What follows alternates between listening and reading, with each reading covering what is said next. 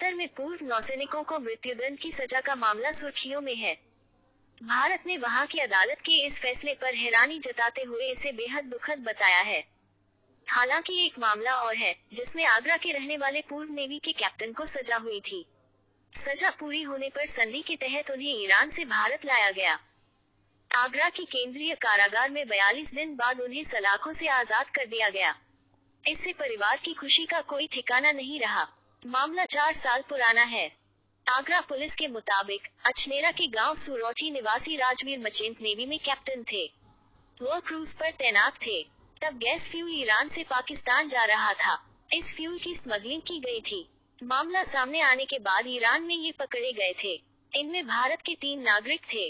राजवीर को 14 जुलाई 2019 को गिरफ़्तार किया गया था। तीन महीने बाद उन्हें तीन साल की सजा हुई।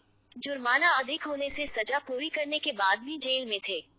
उन्हें तकरीबन 15 साल और जेल में गुजारने थे। मगर भारत और ईरान के बीच संधि के तहत नागरिकों की जानकारी भारत भेजी गई। इस पर 15 अगस्त को आगरा से एसीपी छत्ता आर के सिंह और एसीपी पिनाहट अमरदीप लाल ईरान भेजे गए थे। एक सप्ताह तक सभी कानूनी प्रक्रियाएँ पूरी करने के बाद वह राजवीर को अपने साथ वतन ले आए। एसीपी छत्ता आर के सिंह ने बताया कि राजवीर को फ्यूल स्मगलिंग के आरोप में तीन साल की सजा हुई थी। सजा पूरी करने के बाद उनकी आज़ादी पर फैसला नहीं हुआ था। इसलिए उन्हें 23 अगस्त को आगरा के केंद्रीय कारागार में रखा गया। चार अक्टूबर को रिहाई आदेश मिलने पर उन्हें जेल से रिहा कर दिया गया।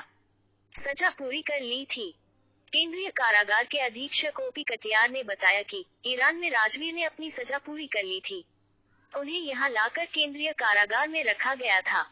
गृह मंत्रालय से आदेश मिलने के बाद उन्हें रिहा कर दिया गया। पत्नी रेणु उनको लेने आई थी। महाराष्ट्र और राजस्थान के भी थे दो नागरिक। संधि के तहत एक दूसरे के बंदियों को उनके देश में सौंपा जाना होता है। भारत में बंदी के आने के बाद भारतीय कानून के मुताबिक ही सजा पूरी करनी होती है। मगर ईरान के बंदियों के मामले में ऐसा नहीं था। वो सजा पूरी कर चुके थे। इसके बाद उन्हें यहाँ भेजा गया था। आगरा के साथ महाराष्ट्र और राजस्थान के भी बंदी थे। उनकी पूर्व में ही रिहाई हो गई थी। राजवीर की आज़ादी के लिए परिवार ने काफ़ी मेहनत की।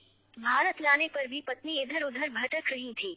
उन्होंने आगरा प्रशासन, मुख्यमंत्री और गृह मंत्रालय में गुहार लगाई। इसके बाद राजवीर की रिहाई हो सकी।